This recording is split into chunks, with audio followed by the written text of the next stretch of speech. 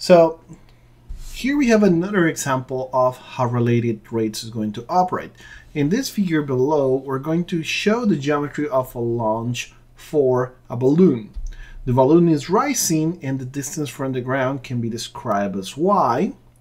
The angle of elevation from a certain observer is going to be called theta and we have that the distance from the observer to um, the point where the balloon was taken was 200. Um, an equation expressing this relationship can, give, can be given by the trigonometric relationship tangent of theta is equals y over 200. Think about it, this is a right triangle, and uh, we can do opposite over adjacent being the tangent of theta. Now, with this, we can pretty much um, find what is going to be the rate of change in elevation um, from the, the balloon with respect to the observer. Okay, so let's take a look of how will we go uh, with that. First, we find uh, the derivative um, doing uh, differentiation to both sides of the equation. So we use the chain rule and we're going to get that the derivative of tangent is secant square and we can multiply by the t, the theta the t. And on the other side, this is going to be 1 over uh, 200 the y dt. Notice that uh, y, we take the derivative of y, which is 1. We multiply by the chain rule, which is the y dt.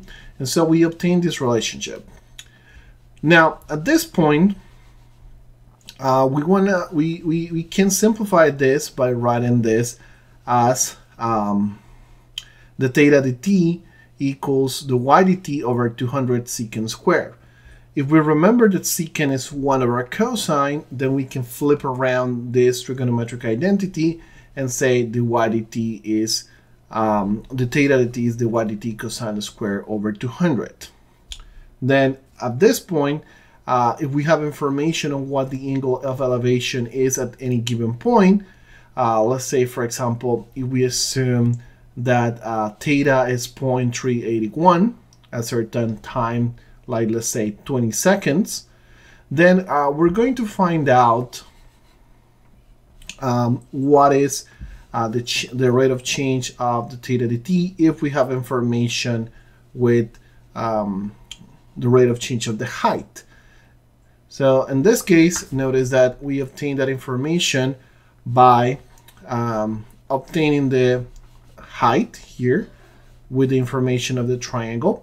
If we have that um, tangent of theta is uh, y over 200, well, we're going to be able to find y just by applying uh, the fact that uh, theta is going to be 0.381. Then with that, we're going to obtain that y is 120.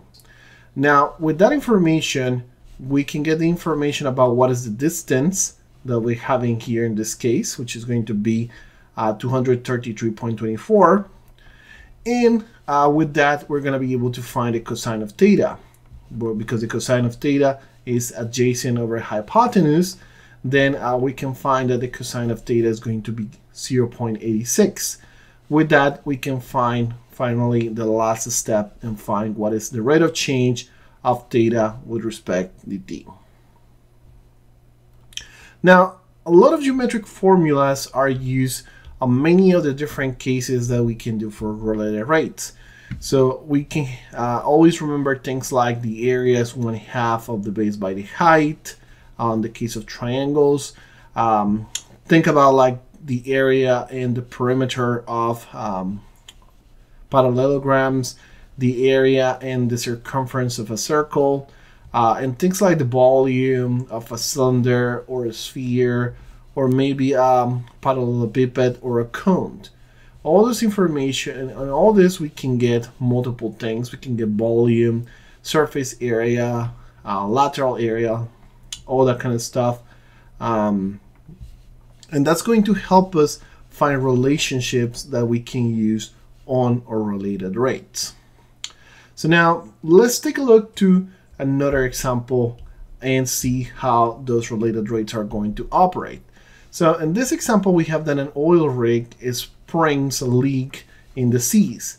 and the oils is spreading in a circle patch around the rig. The, if the radius of the oil patch is increasing about 30 meters per hour, how fast is the area of the patch increasing when the patch has a 100 uh, meters? So uh, let's do this from scratch. So here we have a circle and we're going to deal with a circle. Okay, and this circle is going to have certain radius. This radius is changing. Now, what do we want to know? So first, the radius of the oil patch increases at 30 miles per hour. So we know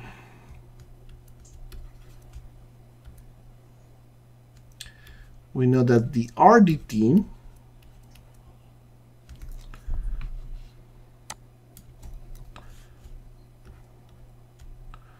is equals to 30 miles per hour. Okay, why am I getting arrows here?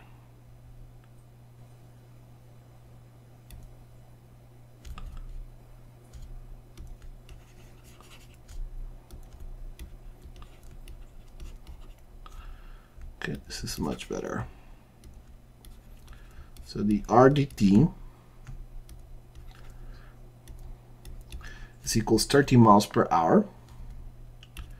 And um, we want to know how fast is the area increasing. So the area dt.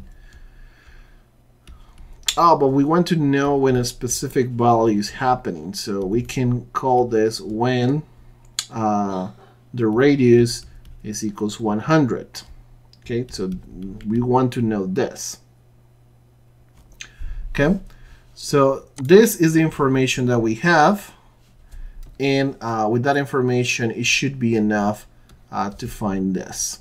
So the first is that at this point, we know that we want to know about the area. So we know the area of a circle is pi r squared. That's the relationship of um, the area of a circle. Okay, so let's draw our circle again. We have a circle, radius r. Okay. We can take derivative here, derivative of dA dt. We're assuming that the area is changing with respect to time. So the radius is going to change with respect to time, and it's going to be 2 pi r times the r dt. Both are functions of the time.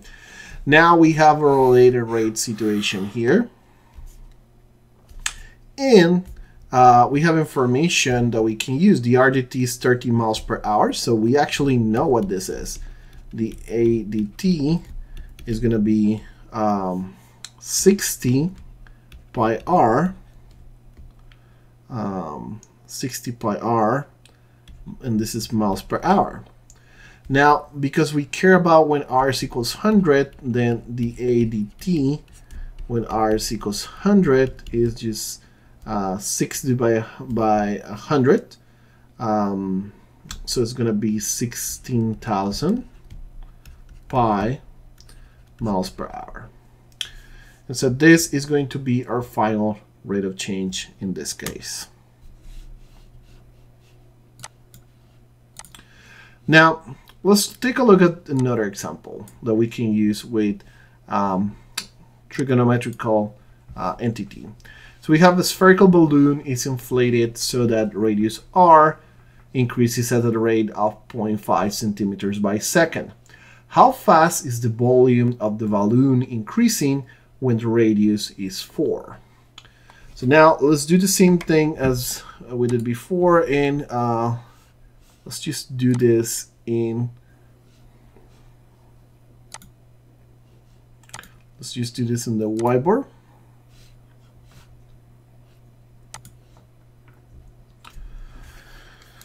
So this is a spherical balloon. And the information that we have about it is um, that the, the radius is increasing at certain rate. So we have the RDT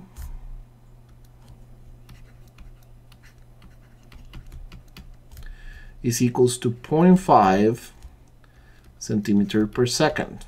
So this is the rate change and it's fine because it's in the top, right type of units.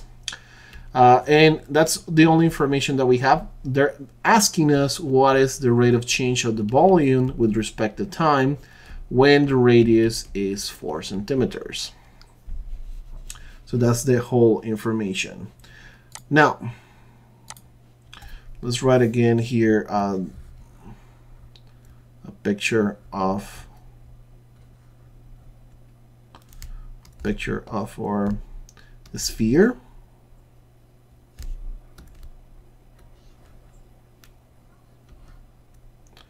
And this is a radius. Now, the volume for a sphere is 4 thirds of pi r cubed. Then we can find the rate of change assuming that this is a function of time and this is a function of time. We can find dv dt is going to be 4 pi r square dr dt we do have information about what our DRDT is. It's one half. So um, we can rewrite this as dVdt is going to be 2 pi r square. Uh, remember this was one half. So one half by 4 becomes this 2. And now we have this information for the volume with respect to time.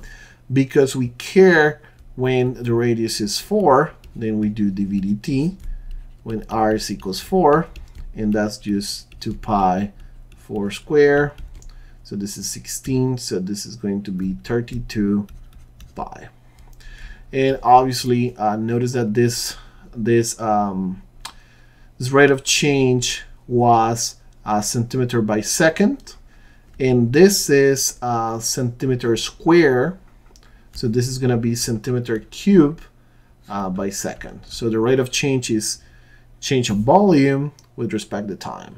Okay, so we are good in terms of units.